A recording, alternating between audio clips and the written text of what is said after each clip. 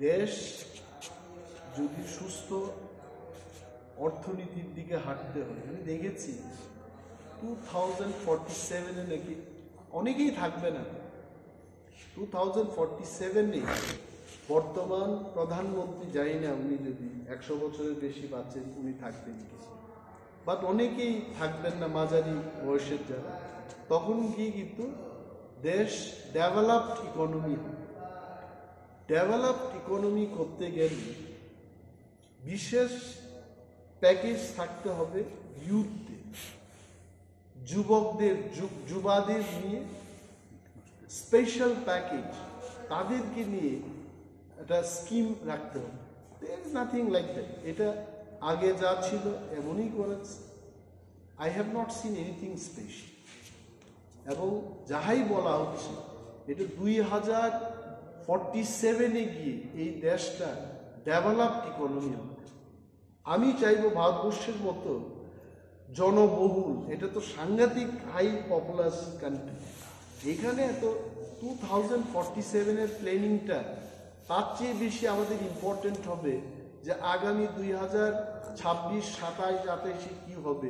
That is more important প্রতি সেকেন্ডে আ আ করে নতুন নতুন ছেলে মেয়েরা জন্মগ্রহণ করছে। In every second in every hour বাজেটটা বাস্তবসম্মত হওয়া, আমি জানি না। যারা ইকোনমিস্ট ওনারা কি বলছেন কিন্তু, আমি যা বুঝি মানুষের ক্রয়ের ক্ষমতা কমে গেছে।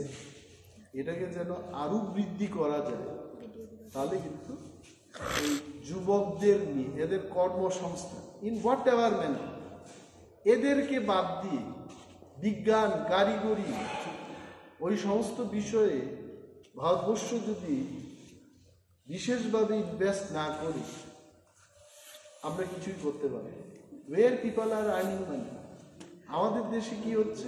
মেক ইন ইন্ডিয়া আপনি ওই চায়না থেকে গাড়ির সমস্ত পার্ট নিয়ে আসুন। আর ভারতবর্ষে অ্যাসেম্বলিংটা করবে। করে বলছে, মেক নো নো, হবে না।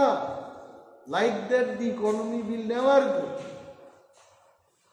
ইন্ডিয়াতেই ম্যানুফ্যাকচার করতে হবে।